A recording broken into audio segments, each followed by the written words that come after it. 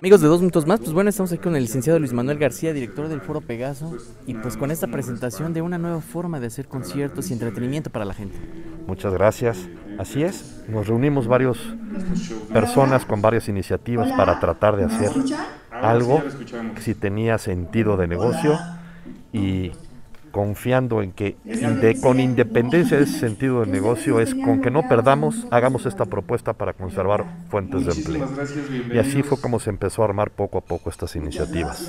Hay que mencionar que lo más importante es la sana distancia y la sana convivencia, sobre todo la salubridad que se va a contar en este tipo de eventos. Así es. Y dentro de eso, el espacio fue clave. La logística fue clave a manera de poder aportar lo mejor sin cobrar renta del recinto. Ponemos esto, invertimos en esto e invitamos a la gente que depende de esta industria a trabajar en lo que más les apasiona. Es una nueva modalidad y pues bueno, nos decía que vamos a tener que acostumbrarnos de aquí al próximo año.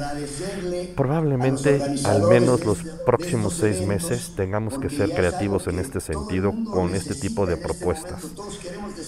Ojalá no dure mucho esta pandemia, pero aún así este proceso va a ser largo y hay que adaptarnos hay que ver el cómo sí se puede. Platícanos un poco de los artistas que están programados para venir. Mira, en realidad tuvimos un happy problem, porque hubo muchos artistas que se quisieron apuntar desde un principio. Obviamente, la mayor parte de ellos con cierta por cierto temor, porque cómo lo va a recibir el público. Pero la verdad es que cuando encontramos eco con Grupo Moderato, con el Tri, con Intocable y con otros con los que ya se están apuntando, vimos que tenía mérito el podernos sentar y encontrarnos en un punto intermedio. Ahora, háblenos un poquito de tarifas. ¿Los artistas tuvieron que bajar sus costos? Sí. ¿Ustedes también tuvieron que reducir los costos? Nosotros no solamente redujimos, aportamos para hacer esto.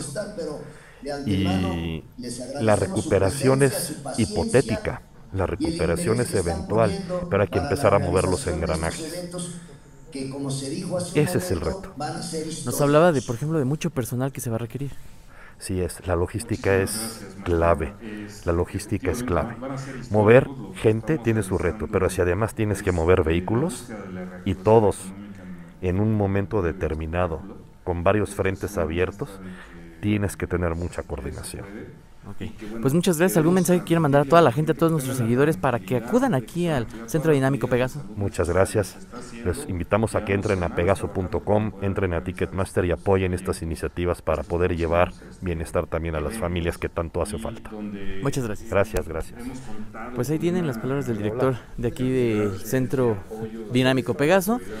Ahorita en la pantalla tenemos en vivo a, al Tri, hay diferentes artistas que están conectados para que de alguna manera este, pues den información de todo lo que va a acontecer aquí en el Centro Dinámico Pegaso en los siguientes meses, en los siguientes, en las siguientes semanas. Y pues bueno, es una nueva forma de tener entretenimiento y sobre todo de disfrutar un buen concierto. Para dos minutos más, Jorge Sandoval.